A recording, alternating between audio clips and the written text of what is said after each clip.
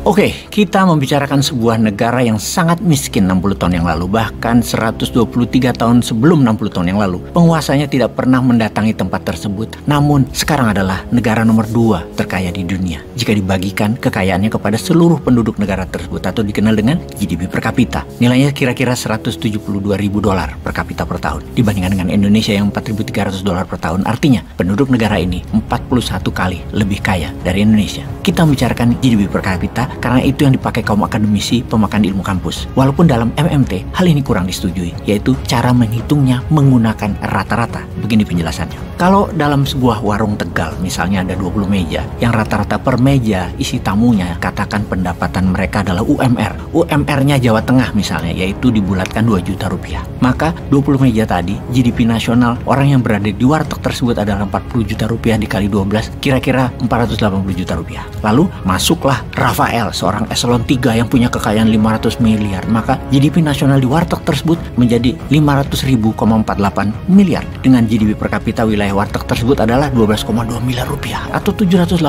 ribu dolar per kapita. Ya begitulah ekonomi yang umum dipakai di kampus yang dibawa-bawa di dalam mengelola negara yang dianggap berhasil menaikkan GDP negaranya. Jadi kalau Wakanda punya 16 ribu triliun rupiah atau kita tahu porsinya kalau dibagi tiga yang 3 ribu triliun adalah PBN, yang 3 ribu triliun lainnya adalah rakyat yang 98%, yang 2% menikmati 10 ribu triliun. Yang naik dalam tiga tahun terakhir adalah yang 10 ribu ini dari 8 ribu triliun ke 10 ribu triliun. Dan diperkirakan dengan kenaikan harga nikel, sawit, batu bara saja yang juga ditambah kenaikan produksinya, maka 10 ribu triliun tadi bisa jadi 12 ribu triliun. Bisa saja. Namun yang 3 ribu triliun milik yang 98% populasi Wakanda sejak 8 tahun terakhir ini nggak tahu naiknya berapa. Jangan-jangan tetap aja segitu. Orang otopilot kok. Jadi kapankah ilmu kampus ini bisa jujur mengatakan datanya? Datanya nggak salah sih. Hanya data yang ditampilkan dipilih yang menguntungkan pejabat itu saja yang disayangkan. Namun karena yang di kampus sudah dicekoki data model begini, maka waktu kita mengatakan ubah cara menghitung data supaya lebih jujur dan transparan melihatnya, kita nggak disukai karena kita kaum akal sehat, bukan ekonom dianggapnya. Ilmu akal sehat itu bukan ilmu kampus dianggapnya. Ya nggak apa-apa juga. Bayangkan,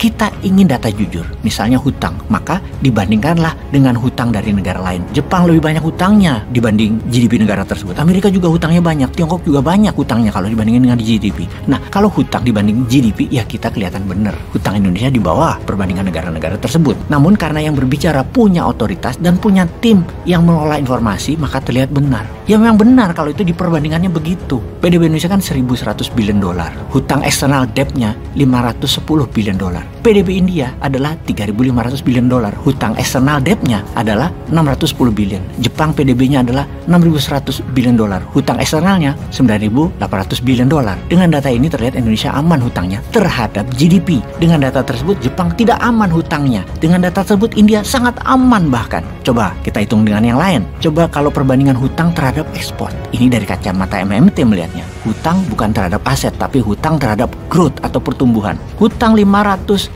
miliar dolar hutang Indonesia dibandingkan dengan jumlah ekspor 291 miliar dolar. Hutang India adalah 610 miliar dolar, ekspor India 608 miliar dolar. Hutang Jepang 9 triliun dolar, ekspor 8 triliun dolar. Ini kalau diilustrasikan, sederhananya ya biar pada paham. Misalnya bininya bosman, katakanlah namanya Mbak Endang, punya pendapatan di rumah kira-kira 300, memiliki hutangnya 5000. Beda dengan tetangga rumah yang punya istri namanya Mbak Sri, pendapatannya 400, hutangnya 600. Ya kerenan Mbak Sri dalam hal ini ya. Mbak Sri tetangga itu pasti bisa bayar hutang dan hutangnya untuk hal yang produktif, yang bermanfaat buat keluarganya. Sementara istri bosman boros banget, membangun banyak hal tapi bukan untuk hal produktif kayak bangun kos-kosan. Dia hanya bangun rumah, gaya-gayaan doang, padahal kosong isi rumahnya. Beli-beli motor gede, Rubicon, tas mewah Dior, Hermes, jalan-jalan keluar negeri, flexing-flexing dan tidak menghasilkan apa-apa. Bahkan bayar hutang aja pakai hutang hutang. Secara perhitungan akal sehat, maka hutang Indonesia bukan untuk yang produktif. Benar begitu. Dan kalau data ini ditampilkan ke publik, bisa jadi yang menjabat dianggap tidak perform. Raiso kerjo, intinya. Ya, gak boleh begitulah terjadinya. Cemar nama pejabatnya, cemar nama dan rusak gelar dan juga rusak ilmu kampusnya. Harus terlihat benar dan keren. Maka yang dibandingkan utang terhadap GDP.